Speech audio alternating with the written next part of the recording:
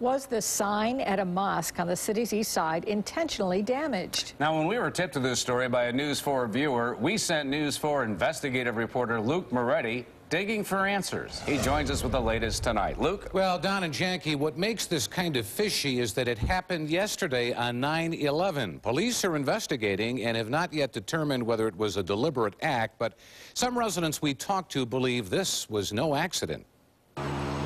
Was it an accident or intentional? That was deliberately done, and I think it's awful. A sign outside this mosque on Genesee Street in Buffalo was creamed on, you guessed it, 9 11. I guess it was a 9/11. People maybe looked at it as a way to get back at at at, at, uh, at Muslims in general. Dorothy Chandler tells me she saw it happen. He was doing about 90 to 100 miles per hour, drove up on the sidewalk actually, and, and crashed into that sign. Buffalo police say a truck drove over the lawn in front of the mosque and smashed the sign, which we found in pieces around the parking lot.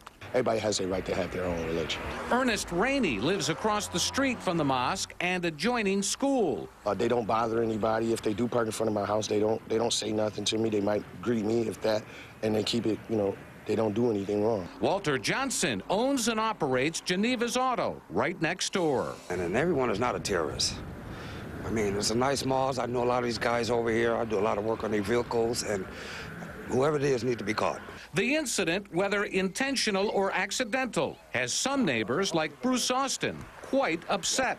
I think it's just a destruction of property, you know. I mean, everyone is everyone's not connected with the, the event that happened 9-11. I think it's very unfair. Buffalo Police Chaplain Bilal Abdullah says there needs to be a better understanding of cultural and religious differences. I think 9/11 is about bringing things together, religious organizations together, and that that Muslims people don't look at Muslims as just a big terrorist organization. That's the farthest thing from the truth.